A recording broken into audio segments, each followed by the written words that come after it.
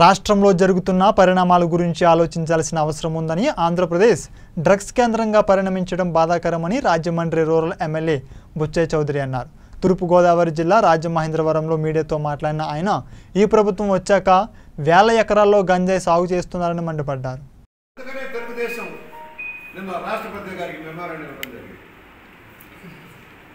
ఈ రాష్ట్రంలో జరుగుతున్న పరిణామాలు తీవ్రంగా ఉన్నాయి.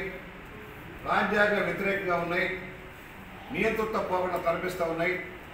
దీని మీద చర్యలు తీసుకోవాలని కేంద్ర ప్రభుత్వాన్ని కోరడం జరుగుతూ ఉంది చంద్రబాబు నాయుడు భారీగా ఫైల్ అయ్యారండి అన్నమాన్ జై- జైల్లో పెట్టాలని అంటున్నారు అట్లాగే ద్వారంపూడి చంద్రశేఖర రెడ్డి గారు. జైలు మాట్లాడుతున్నామని హైకోర్టు జడ్జి ఎంపీ గారు భరత్ గారు ఈ సారా ఇంతగా మన నియోజకవర్గంలో భారీగా వెళ్తుంది కదా నీ పాత్ర ఏంటి? ఈ మత్తు పదార్థాలు రాష్ట్రంలో వస్తే నిన్న నర్సపూర్లో లెహంగాల చాటున మత్తు పదార్థాలు వస్తే నీ పాత్ర ఏంటి? ఇళ్ళ స్థలాల మాటల దోపిడీ మీ నాయకులందరూ కలిసి చేయలేదా? రాజమహేంద్రం చుట్టుపక్కల తీసుకున్న స్థలాల్లో దోపిడీ ఎవరి పాత్రలు ఉన్నాయి? నిర్ధారణ కావాల్సిన అవసరం లేదా? పనికిరాని భూములకి రెట్టింపు ధరలు ఇచ్చి ఇవాళ రాజమహేంద్రం చుట్టుపక్కల రాజమండ్రి రూరల్లో తీవ్ర అన్యాయం చేయలేదా? మట్టి కొల్లగొడుతూ ఉన్నారు గ్రావెల్ కొల్లగొడుతూ ఉన్నారు. ఇళ్ళ స్థలాల ముసుగుతో భూముల సేకరణలో కొల్లగొడుతూ ఉన్నారు. రా నేను చెప్తాను ఇవాళ. వ్యామగిరిలో ఏదైతే ఇరవై రెండు ఎకరాలు జిల్లా పరిషత్ భూమిని ఇళ్ళ స్థలాలకు సేకరిస్తే అక్కడ ఉన్న కొండ లెవెల్ చేసి ఇన్న స్థలాలు ఇవ్వాల్సిన బదులు ఎవరు మళ్ళా కూర్చడానికి డబ్బు కావాలి. నేను అడుగుతా ఉన్నా ఇక్కడ జరిగే అవినీతి. చైతన్య నగర్లో గ్రావెల్ చాలా గట్టి గ్రావెల్ ఆ గ్రావెల్ రోడ్ల బదులు ఆ గ్రావెల్ బయటకు అమ్ముకొని బయట నుంచి చేశారు. నీ పాత్ర ఏంటి ఎంపీ గారు? సిగ్గుండాలి మీ అందరికీ. పరిపాలన చేతగాక ఏం ఏం జరిగింది రెండున్నరేళ్ళు అవుతుంది ఏం అభివృద్ధి సాధించారు? కార్పొరేషన్లో ఫోర్టీన్త్ ఫైనాన్స్ ఫిఫ్టీన్ డబ్బు ఎందుకు రాలే? పంచాయతీలకు ఇవ్వాల్సిన డబ్బులు కేంద్రం నుంచి విడుదలైన ఎందుకు ఇవ్వాల? టిప్కో ఇల్లు ఎందుకు హ్యాండ్ అవుట్ చేయాలి? ఇవన్నీ ప్రశ్నలే కదా. అభివృద్ధి అంటే తెలుసా మీకు? సార్ విదేశాల్లో ఉన్నట్టు ఉన్నాయి కదా సార్ రాయమండ్రిలో రోడ్లు. విదేశాల్లో ఉన్నాయి నలుగురు గోతుల్లాగా ఉన్నాయి మరి. ఆఫ్రికాలో ఉన్నట్టుంది. విదేశాల్లో ఎస్ విదేశాల్లో ఉన్నాం ఆఫ్రికా ఖండంలో రోడ్లు ఉన్నట్టే ఉన్నాయి. అక్కడ కూడా బాగుంటాయండి అక్కడ. ఆఫ్రికా ఖండంలో ఉన్న రోడ్లు లాగానే ఉన్నాయి బాబు. మరి విదేశాల్లోనే కదా. విదేశాల్లో ఉన్నట్టంటే ఆఫ్రికా ఖండంలో ఉన్నట్టే బాబు. ఏం మాట్లాడతారు ఎంపీ గారు మీరు? జైల్లో పెట్టాల్సింది మిమ్మల్ని మీ నాయకుల్ని.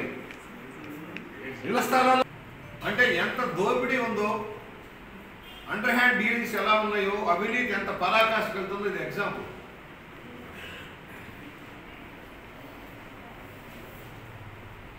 నవరత్నాల్లో అమ్మఒడి అని చెప్పాడు ఫీజులు పెట్టిన పథకాన్ని ఎందుకు ఇవాళ గాలి వదిలేసావు జగనన్న అమ్మఒడి అన్నావు. చాలా బిడ్డకి వెళ్ళిపోయింది డబ్బులన్నీ. ఇవాళ ఫీజులు కట్టలే. కాలేజీ వాళ్ళు టీసీలు ఇవ్వటం లే సర్టిఫికేట్లు ఇవ్వటం లే నిన్న పరీక్షలు పాస్ చేయించారు కదా టెన్త్ ఇంటర్లో పాస్ చేయించారు. వాళ్ళు హైయర్ స్టడీస్కి వెళ్ళాలి. కాలేజీలకు వెళ్తే ఫీజులు కట్టమంటున్నారు. ప్రభుత్వం ఫీజు చెల్లించినందువల్ల ఇవాళ ఆ పిల్లల రోడ్లు పాలైపోతున్నారు. దళితులు బలహీన వర్గాలు గిరిజనులు ఇవాళ రోడ్లు పాలైపోతున్నారు. మా దగ్గరకు వస్తున్నారా? అయ్యో సర్టిఫికేట్లు ఇప్పించండి. కాలేజీ మీద మేము జీతాలు ఇచ్చుకోవాలి మా మేనేజ్మెంట్ సంగతి మా ఫీజులు ఇస్తే కదా వాళ్ళు అంటారు. అంటే ఎలాంటి విద్యా విధానం లోపభూయిష్టంగా తయారు చేసి ఇవాళ ప్రైవేటు యాజమాన్యాల ఆస్తులన్నీ కబ్జా చేయడం కోసం ఎయిట్ పోస్టులు రద్దు అంటున్నారు. ఆస్తులు మాకు దగలపరచండి అంటున్నారు. చూసారు విశాఖపట్నంలో ఏం జరిగిందని నేను ఈ విధంగా ప్రైవేటు ఆస్తుల్ని కబ్జా చేయడం కోసం విద్యా వ్యవస్థని కుప్పగూర్చే విధానంలో ఈ ప్రభుత్వం వెళ్తా ఉంది. అన్ని విధాల రాష్ట్రాన్ని గబ్బు పట్టించారు జీతాలకు డబ్బులు లేవు పెన్షన్లకు డబ్బులు లేవు రైతులకు ఇచ్చే డబ్బులు లేవు విద్యా దీవెన లేదు. దళిత మైనారిటీ బలహీన వర్గాల వారికి కేటాయింపు చేసిన నిధులు కూడా పక్కదారి పట్టిపోయినాయి.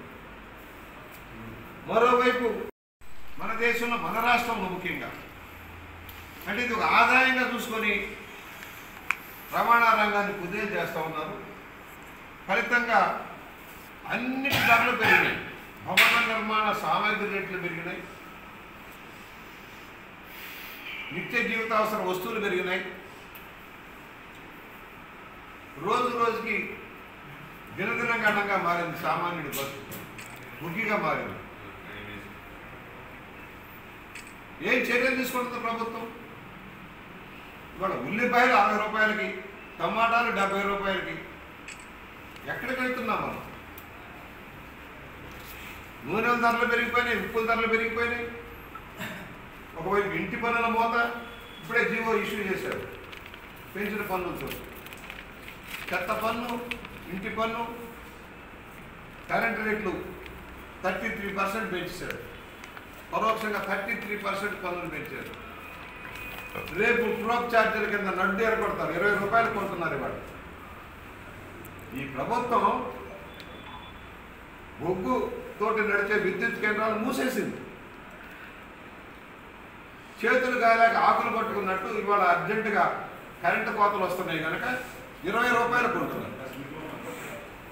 తాగేవాడే కడతాడు తాళ్ళ పన్నుని ఈ ప్రభుత్వ అసమర్థ విధానాలకి రేపు డ్రాప్ ఛార్జీల కింద యూనిట్కి నాలుగు రూపాయలు ఐదు రూపాయలు మనం చెల్లించే దౌర్భాగ్య స్థితికి వెళ్తున్నాం.